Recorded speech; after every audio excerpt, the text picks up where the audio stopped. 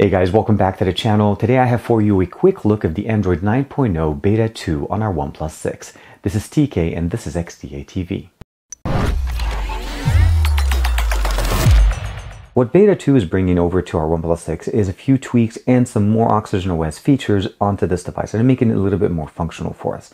Now, number one thing I'm going to say is it actually does say Android 9.0 now. So we now, of course, that it's been 9.0 since we've seen it on our Pixel 2 XL, as I did the video for you guys over on my channel. If you guys would like to see that video, it'll be in the description.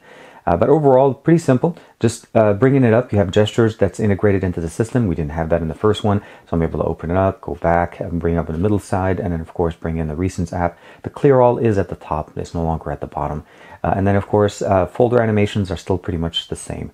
Uh, if we go into the settings tab a little bit, we'll see some more optimizations under display. Uh, you'll notice basically that notch is ability to hide the notch is now available here. That's something that we didn't have in preview one. Although with standard Oxygen OS, these things are standard features.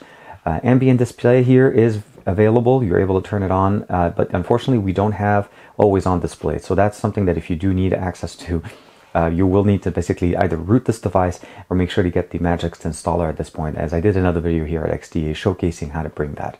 Uh, that process unfortunately doesn't work on Android 9, but if you have Android 8.0 or earlier, you're definitely set. Color calibration or screen calibration is still in there. We have default sRGB, DCI P3, as well as adaptive mode. And of course, we do have the custom where you're able to just customize that. Now, as far as the accent colors, we do have the color picker. We're able to go in there and customize the color selection specifically to whatever color you want. I mean, you notice right here, I have that blue tint, uh, but I can actually bring it in here. And then let's say we can see the preview right there. We'll go into the purple side.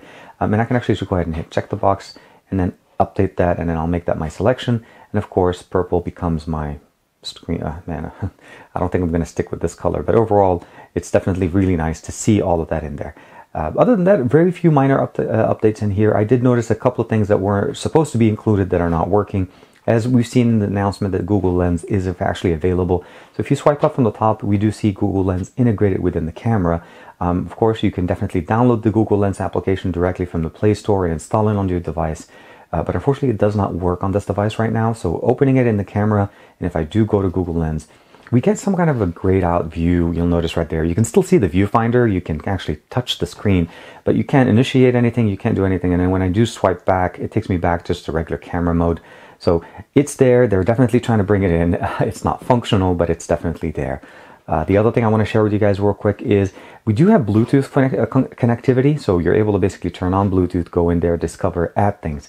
Unfortunately, um, audio routing is not working on this. So uh, you can connect a pair of headphones. Example would be these guys.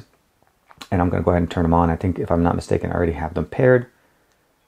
So it's turned on. And then um, give it a second. You'll notice right there, it connected. It's working fine, right? So I'm going to go into YouTube. Go in and I'll open up my last video that I did here. I'm going to bring the headphones over to my uh, microphone and volume you can see it's all the way 100%. Nothing. And of course, turn off Bluetooth. Audio plays back on the device fine. Uh, seems to be a, probably a little bug. Hopefully we'll see an update to that that will fix it. Uh, but overall, other than that, it works pretty good.